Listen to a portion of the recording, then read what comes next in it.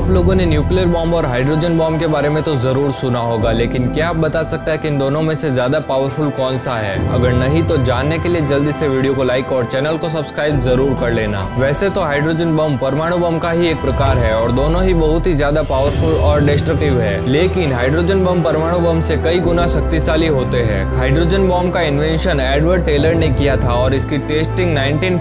में अमेरिका में first time की गई थी हाइड्रोजन बॉम्ब बनाने में हाइड्रोजन के आइसोटो अमाउंट ऑफ ड्यूटीरियम और ट्राइटेरियम का प्रयोग होता है इस बम में न्यूक्लियर फिजन रिएक्शन होती है जिससे 50 मेगाटन एनर्जी प्रोड्यूस होती है और ये एनर्जी किसी नॉर्मल एटम बम से 1000 गुना ज्यादा शक्तिशाली होती है इस बम के विस्फोट से न्यूयॉर्क जितना बड़ा शहर कुछ ही मिनटों में तबाह हो सकता है वर्तमान में मात्र छह देशों के पास ही हाइड्रोजन बम है और जिनके नाम है अमेरिका फ्रांस ब्रिटेन चाइना रूस और भारत आपका इस पावरफुल बम के बारे में क्या कहना है कमेंट करके हमें जरूर बताएं